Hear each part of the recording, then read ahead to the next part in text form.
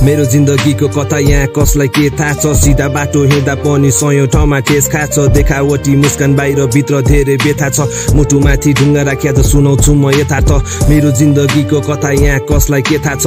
सिधा बाटो हिँड्दा पनि सयौँ ठाउँमा ठेस खाछ देखावटी मुस्कान बाहिर भित्र धेरै व्यथा छ। मुटुमाथि ढुङ्गा राख्या त सुनाउँछु म यथार्थ।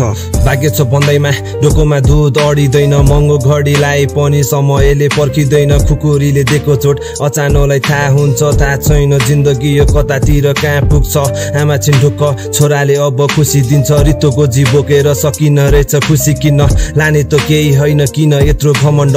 मनमा शान्ति छैन भने हुन टन्न धनले सम्पन्न। चर्केको घाममा मैले पाइन कतै छ हारी आफन्त इष्ट मित्रको म आश गर्दिन कदापि।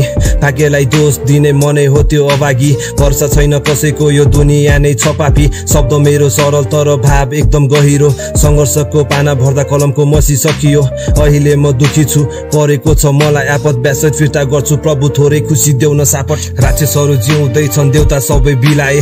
दिलाए खुसी सबलाई तर आफ्नै बाटो बिराए।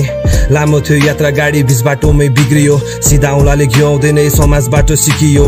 खेल खेल्न सिके पनि खेल खेल्ने मैदानका छ। भगवानको रूपमा आज मानव सबै सैतान बा छ भाउ बढाएको छ सबको माग्ने लेनी तातो भात माग्छ। सबैको ध्यान आज पैसा भन्ने कागजमा छ। यथार्थ यो महलमा सुत्दैमा लाग्ने होइन मिठो निन्द्रा। बिस्तारै चाल्छु पाइला लड्न सकिन्छ है छिटो हिँड्दा। धनले खुसी मिल्ने भए किन छोड्थे दरबार बुद्धले? काम लाग्दैन जिन्दगीमा पढेका ती सूत्रले। मानवता हराइसक्यो पाप धर्मको युद्धले। वृद्ध आश्रम पठाइदिन्छ जन्म दिएको पुत्रले। पाक्लाकी पनि हेरिरहे फल कुहियो रुखमै।